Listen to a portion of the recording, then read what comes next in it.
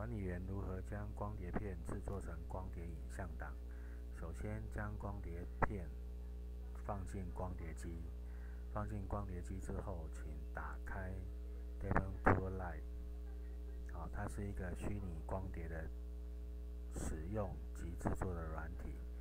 那请你点选制作光碟影像档选项。点选之后，在装置这边，会抓到你的光碟机，还有里面的光碟片。那这里呢，请点选你的光碟片做成的影像档要放在哪里。所以我们，那还有一个地方要注意的是，这个地方存档类型，请你选择 ISO 标准的影像档。当你按开始之后，它就会制作光碟影像档。